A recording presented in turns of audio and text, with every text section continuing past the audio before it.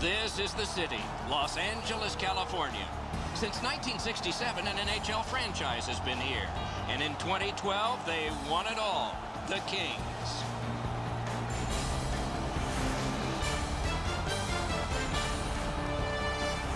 Greetings, everyone. Along with Stanley Cup winner from 1994, Eddie Olczyk, I'm Mike Emrick. That hallowed trophy will probably be in the building before the evening is over. Tends to be fashionably late when it could be handed out.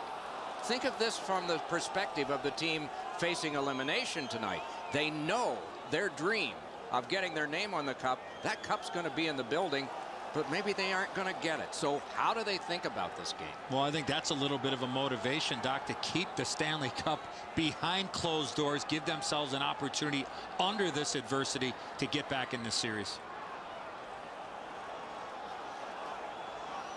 We direct our attention to the nets and the starting goalies. In goal tonight is Jonathan Quick, Stanley Cup champion with Los Angeles, won all 16 games you need to win to start a parade and was playoff MVP that spring of 2012.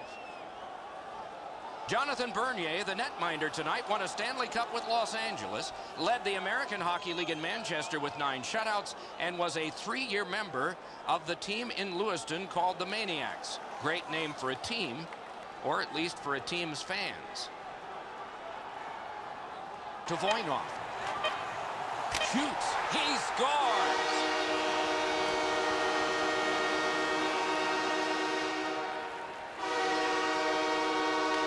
The Kings win that neutral zone faceoff. That one went right past Ray into the bench. Assisted by number 26. Looks ahead to start something. The game is over. The series is over. These are the Stanley Cup champions. These guys started back in the fall. Their dream was to be at this very moment. And the dream is realized.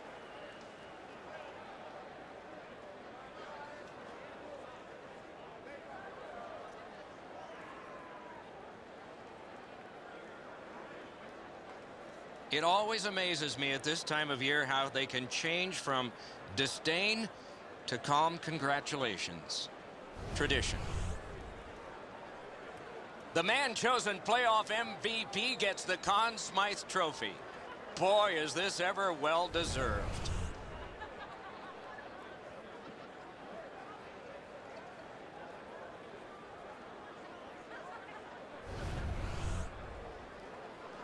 It's often said it's the hardest prize to win because it takes eight weeks.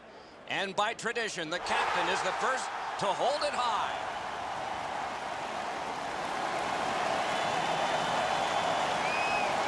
And there's always a pecking order as to how it gets handed off, and that's all a part of Stanley Cup lore.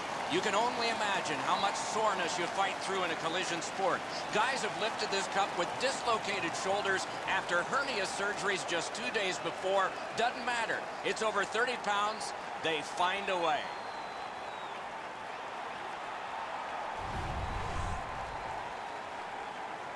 You play that hard and that long.